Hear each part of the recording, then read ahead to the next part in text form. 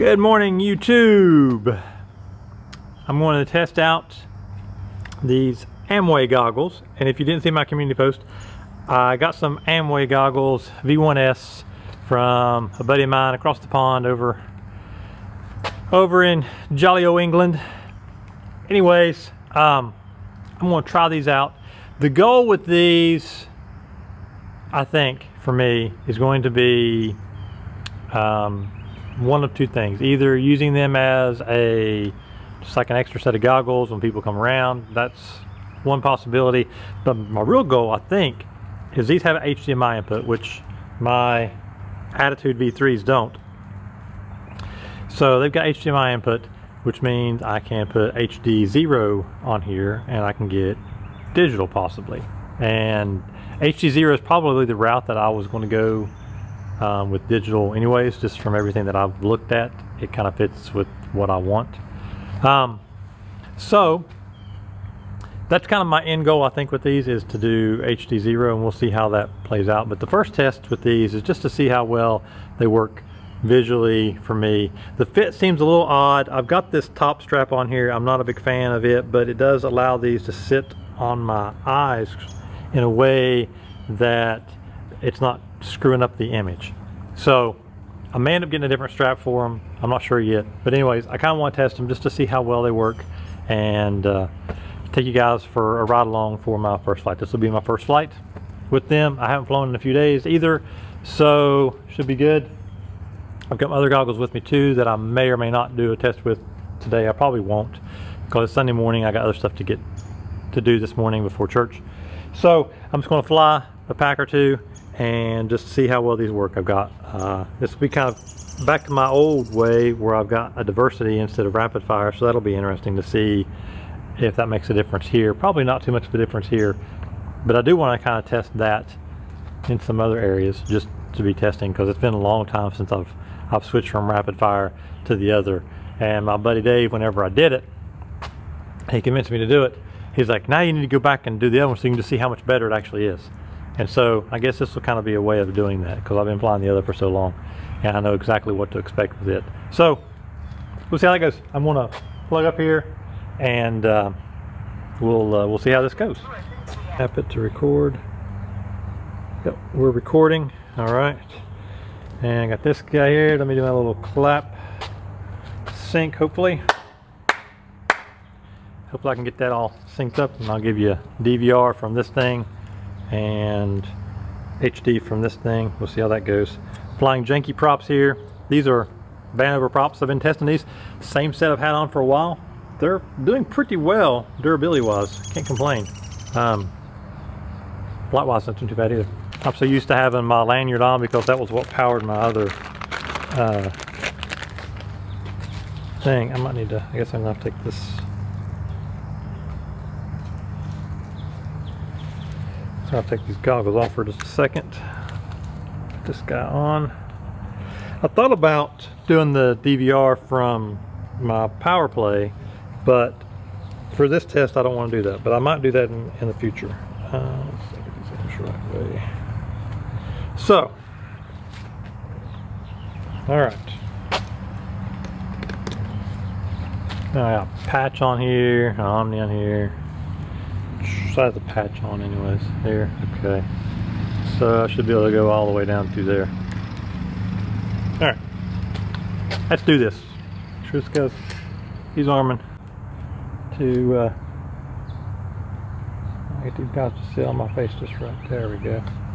Alright, I've not flown with a 16.9 view. It just basically looks like my 4.3, but it's um, kind of stretched. Yep, that's weird.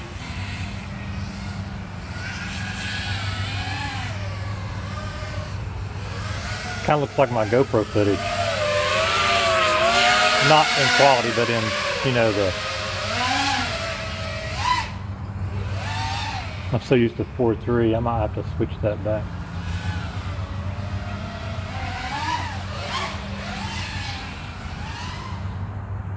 I might be flying closer to stuff though, I don't know.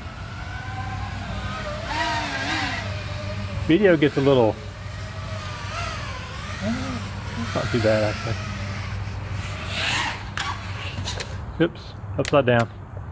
Hope I didn't hit off there. Oh, I heard something.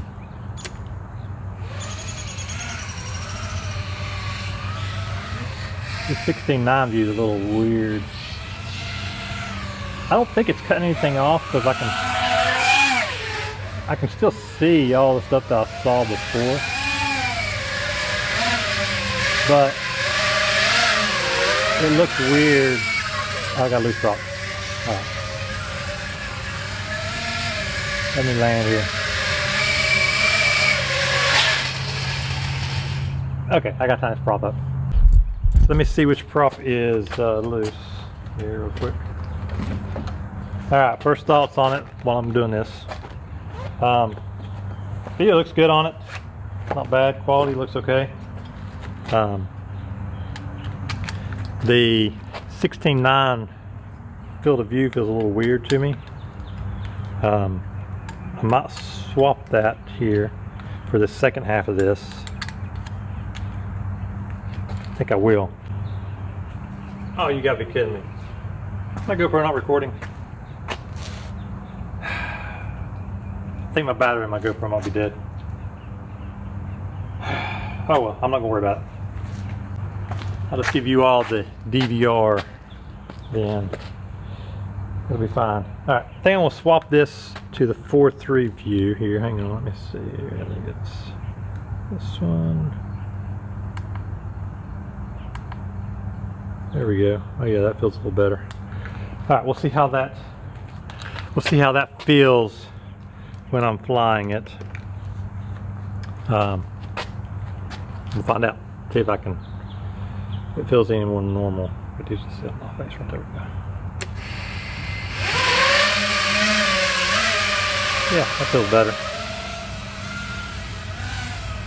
That actually feels a lot better.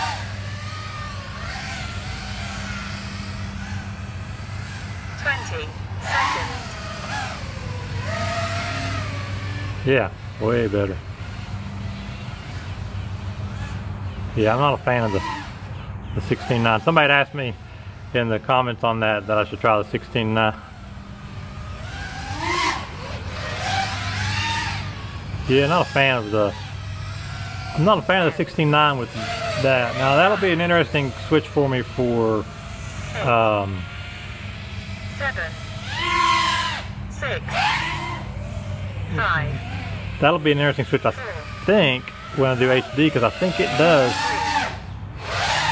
I don't think it does 4.3. I think it does 16.9 Timer view.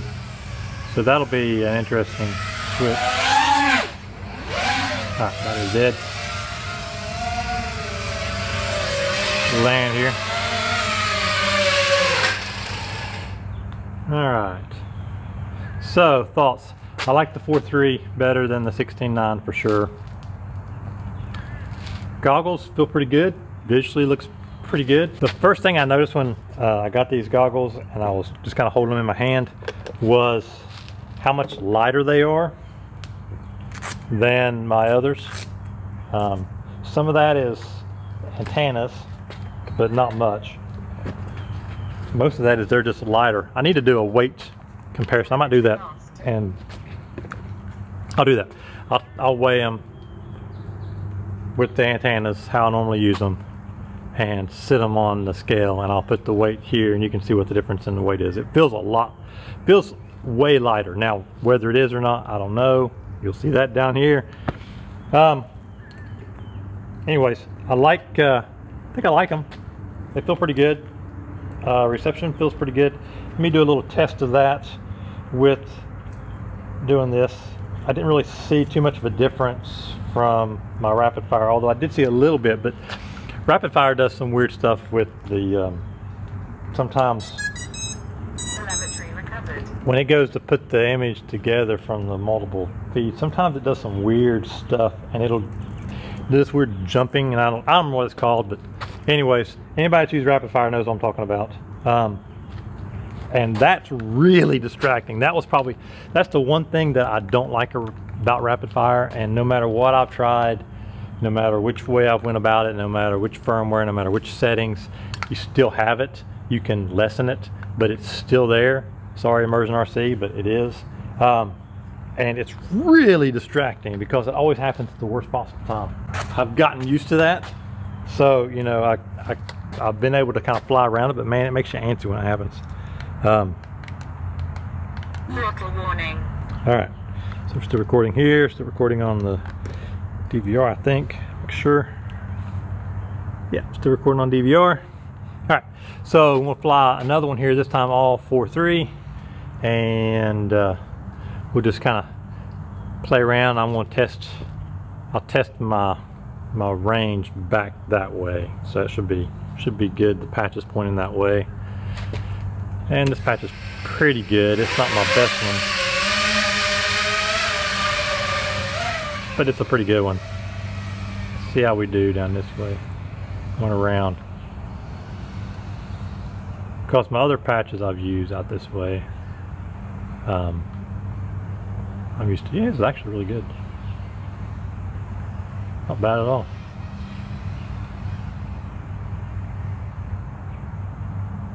Not bad at all. Yeah. Working good.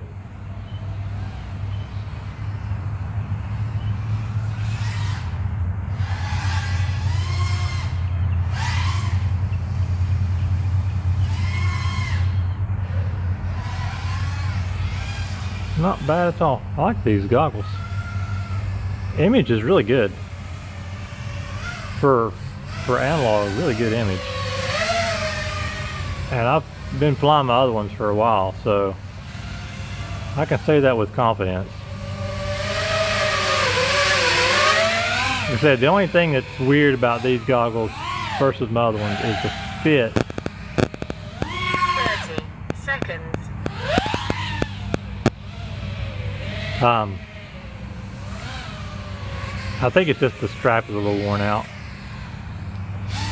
I need a new strap. I think that'll. I think that'll solve most- most of the issues. 20 seconds. Yeah, I can see really good with these. I like it.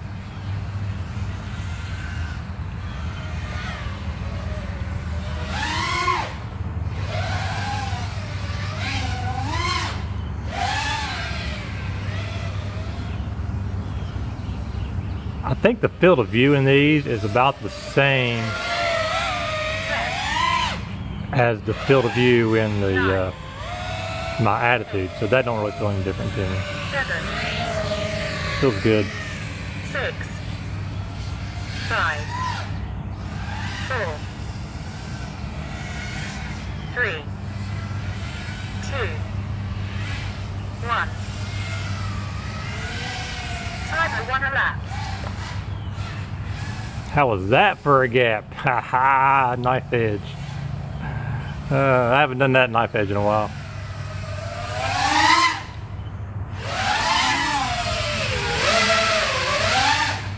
Oh, and I hit that one.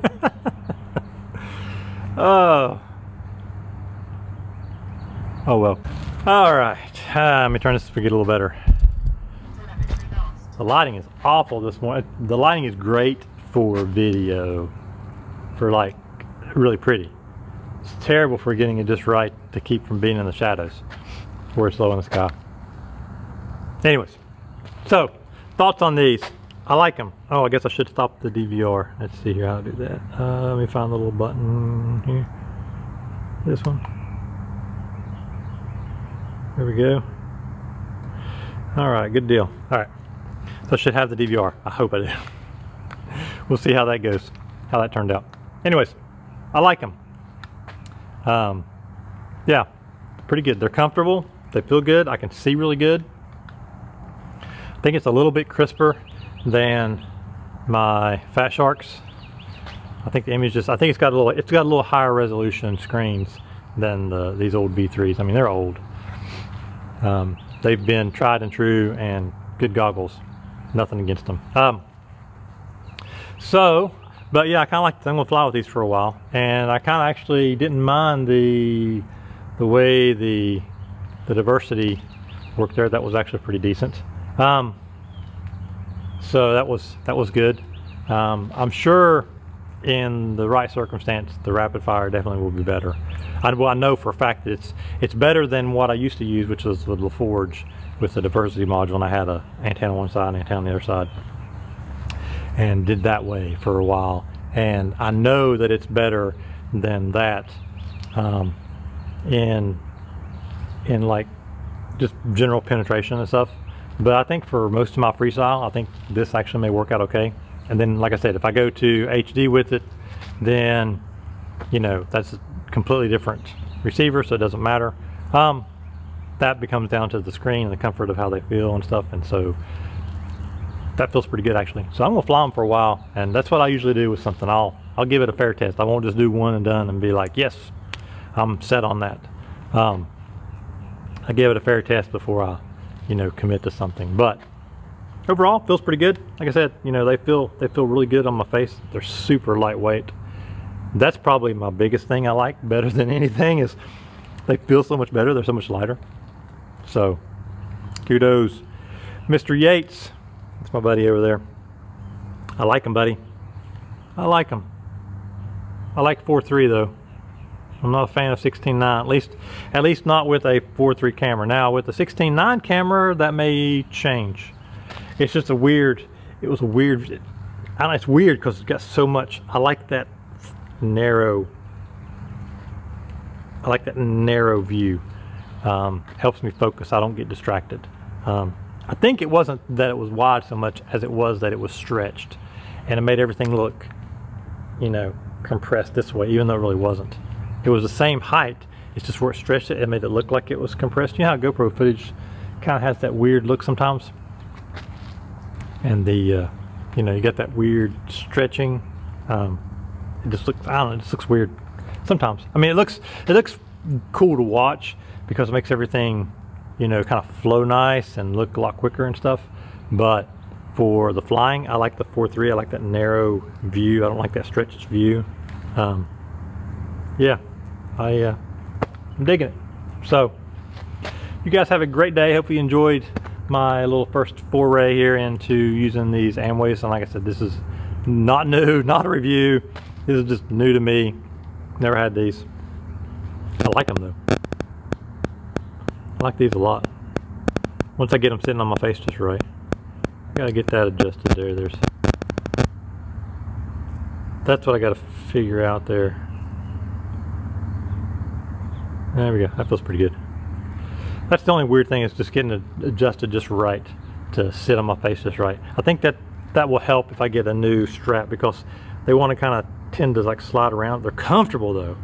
The foam is uber comfortable.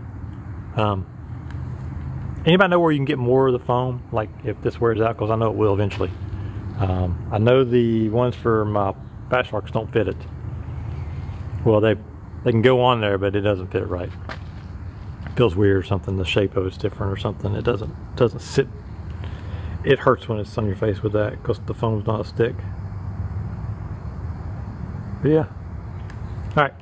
You guys have a great day, and I'll see you guys in the next video. Peace.